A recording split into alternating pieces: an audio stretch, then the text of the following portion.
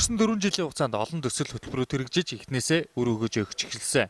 Эдгээр төслүүд санхүүжилт байхгүйгээс болж гацаж байсан бол өнөөдөр санхүүжилтөд олж ашгаа өгч эхэлсэн юм а.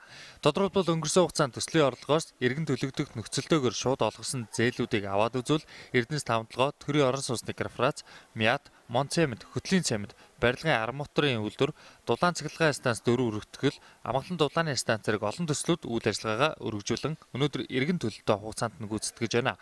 Эдгээр компаниудаас гадна Чингис бондоос 100 гаруй тэрбумыг 60 компанид олгосноор дээрх компаниуд ажлын байрыг нэмэгдүүлж амжилттай ажиллаж ашиг орлогоо бүрдүүлж байгаа юм а. А хөгжлийн банкнаас санхүүжилсэн нийт төслийн одоо 70 гаруй хувь нь яг өөрийн гэсэн ашиг орлоготой, өөрийн гэсэн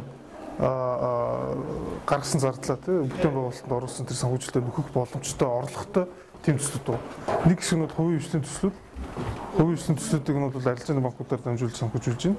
А одоо улсын томоохон улсын шин чанартай тий 3 4 дэх сахилгаан станц, Эрдэнэс таван толгой, амгалангийн дулаан станц хвшлийн төслүүдийг шууд санхүүжүүлж байгаа. А гэхдээ энэ төслүүд маань эргээд төрийн өмчт боловч бас л өөрийн гэсэн орлоготой зардлаа нөхөх боломжтой юм төслүүд байна. Эндээс харахад өнгөрсөн 4 жил засгийн газар маш олон ажлыг эхлүүлсэн нь харагдаж байгаа юм а. Гэтэл сөрөг хүчин болох Монгол Ардын нам энэ их бүтээн байгуулалтыг зөвхөн өөр гэж харан ард түмнэр төлөвлөх мэтэр буруу ташаа мэдээлэл өгч байгаа нь хийсэн бүтээсэн зүйлийг үгүйсгэж байгаатай адилхан харагдаж байна. Аливаа улсын хөгжлийн үндэс нь бүтээн байгуулалтыг харин бүтээн байгуулалтыг босгохын тулд хөрөнгө хэрэгтэй. Ингэж яаж төсөл хөтөлбөрүүд амжилттай хэрэгжиж үр дүнгөөгч эргэн төлөлтөө цаг тухайд нь өгөх боломж хүрддэг юм а.